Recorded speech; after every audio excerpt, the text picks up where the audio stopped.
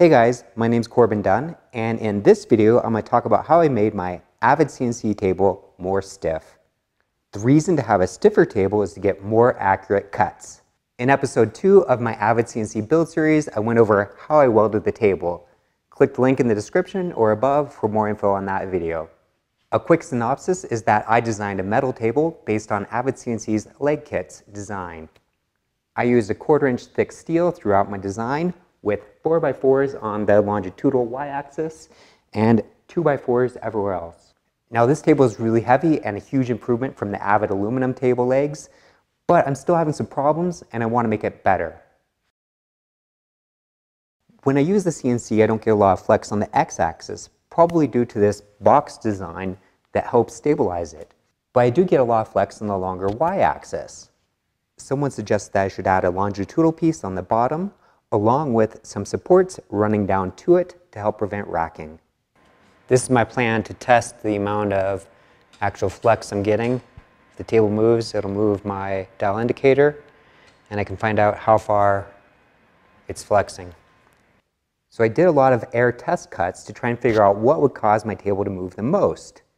And what I settled on is a pocket that I just created in Vectric V-Carve where it moves along the y-axis really quickly back and forth about half an inch. So when I did the test, I could see the dial indicator moving up to about 10 thousandths of an inch when it was doing the air cut, and when doing the rapid movements up to almost 17 thousandths of an inch. So these are the numbers that I'm looking to improve. So I opted to use my MIG welder due to just speed and ease of use. I roughly aligned the longitudinal pieces with my existing supports and tack them into place. I wanted to minimize warping of the table by applying excessive heat, so I did a lot of short welds, wait for it to cool a bit, and then would add a little bit more to it after it was cool. Now these pieces really aren't structural, they're not supporting the table itself, so they don't really need to be deep, really good welds. In fact, the short welds were pretty ugly, but I'm going for functionality over beauty. Cutting some of the 45s on my small horizontal bandsaw was a little bit difficult. I had it hit some of the pieces on the back blade support. I eventually jimmied a solution together and cut them out, but it took way longer than it should have. So finally, I got all the pieces welded on and the table cleaned back up.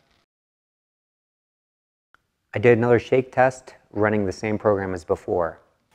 It's a little hard to see exactly what's happening on the dial indicator, but the movement arc is now about 5 thousandths of an inch. Originally, it was getting about 10 thousandths of an inch during the air cut and up to 17 thousandths of an inch during the rapids, and now I only see it move at any given time only about 5 thousandths.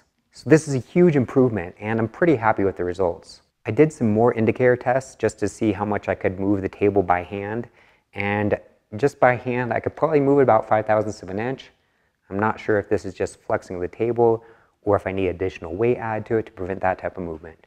But at this point, I'm just going to use the machine and see how well it does for uh, other cuts. And if I do want to improve it more, maybe I'll try and add some more weight, some concrete, or I could just reduce the acceleration in Mach 4. So that's it. Thanks everyone.